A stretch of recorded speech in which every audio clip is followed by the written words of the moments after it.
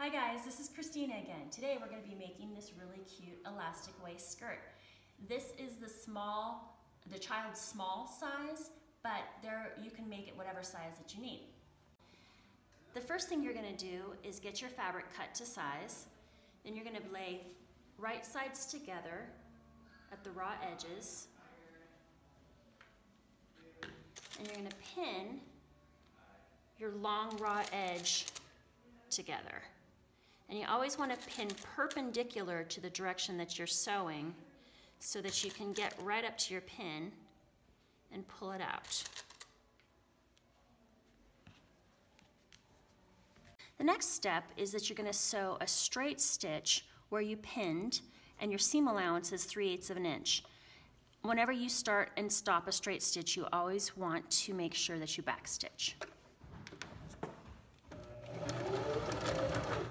and don't sew over a pin. Then you're gonna finish your seam edge with a zigzag stitch. So you're gonna go to zigzag, and whenever you zigzag, your seam allowance is 1 8 so it goes right off the edge. And you don't need to backstitch on a zigzag.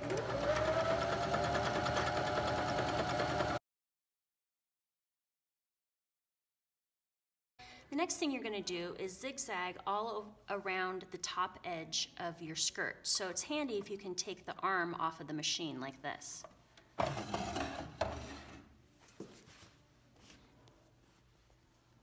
You're gonna open your skirt up and zigzag around one raw edge just in the circle.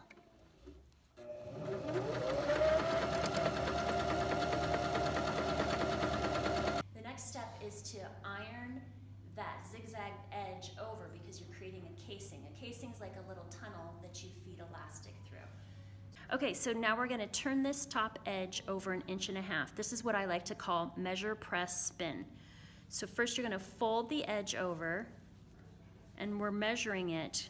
We want this fold to be inch and a half. So I'm gonna use a seam gauge and I slid the marker on the seam gauge to inch and a half. So this is the measure. And then this is the press. Press always means iron. iron that bit. And then I'm gonna spin. So again, I'm gonna measure inch and a half. I'm gonna press. And I'm gonna spin and I'm gonna measure press spin all the way around that top edge so that that fold measures at an inch and a half. So same thing, we're gonna do measure press spin, but this time it's we're gonna do half inch. So I'm gonna scoot my marker to half an inch, and then I'm gonna measure press spin at half an inch. So there's my half inch. I'm gonna press I'm going to spin.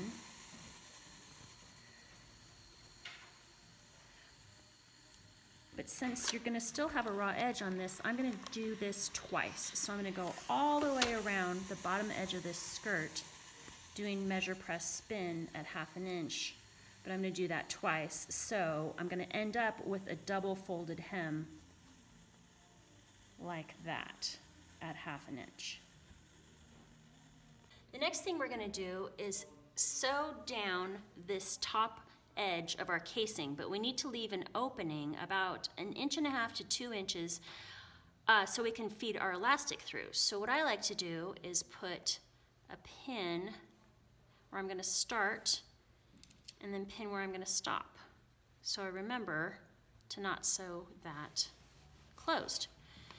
So with a straight stitch, I'm gonna aim for about the top peaks of my zigzags right there. So I can have this stitched down, but still wide enough for my elastic to go through.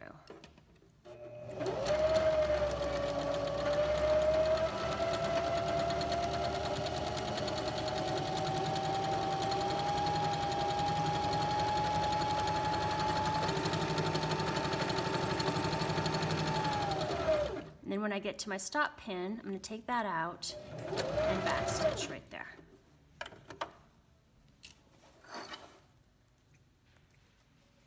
The next thing I'm gonna do is sew down my hem. And I can sew my hem all the way shut because of course I don't need to leave an opening for that because elastic's not gonna go in there. So I'm gonna flip it around. And now you have to be pretty careful about your seam allowance on your hem. So I like to uh, line it up on the machine and notice I'm starting at a seam. You always want to start at a seam when you sew a hem. And I want to make sure that the edge of my fabric is always going to be at about that 3 8 inch mark because I want to make sure that my hem is equidistant. Um, my stitching is equidistant from my fold to my stitches.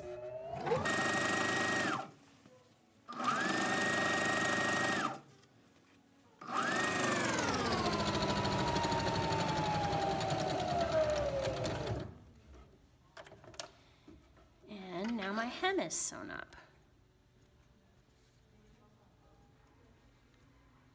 Always remember to trim your threads as you go. It makes for a tidier sewing project.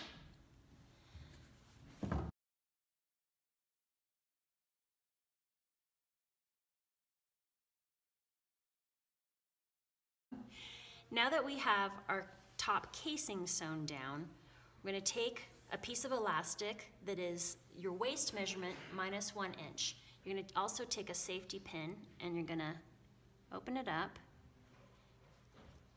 and pin the end of your elastic so you can feed it through the casing.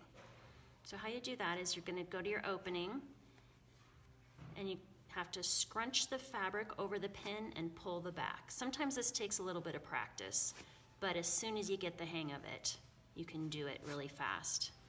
So you're just scrunching the fabric over the safety pin and pulling it through.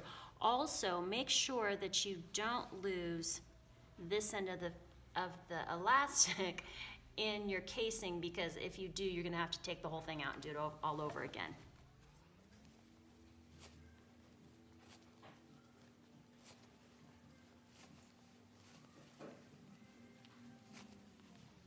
Once you get to the other end, you're just gonna pull your safety pin out.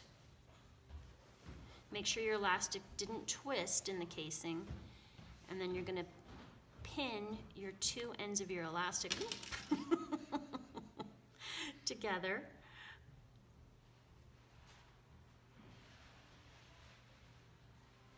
Like this and then pull your elastic all to the inside of your skirt. Tuck that in there. And then at this point, you want to try your skirt on to make sure that the elastic is um, not too tight or too loose uh, before you sew it up. After you fit your skirt and make sure that the elastic is comfortable to you, you're gonna, you can cut off any extra if it's too loose. But then, if once your elastic's okay, you're gonna overlap your ends about a half of an inch, overlap like that, and then you're just gonna sew them together back and forth, back and forth like this.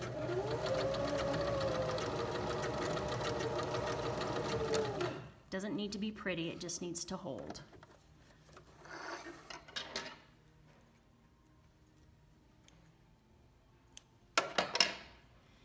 Then you're going to pull the elastic into the casing and you just have to sew up this little opening that you left. So you're gonna start where your last stitches ended.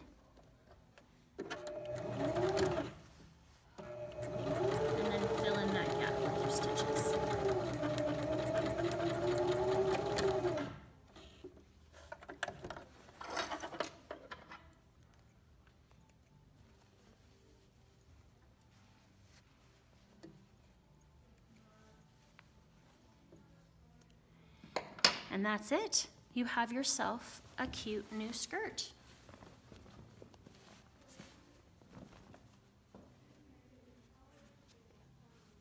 It's all ready to go.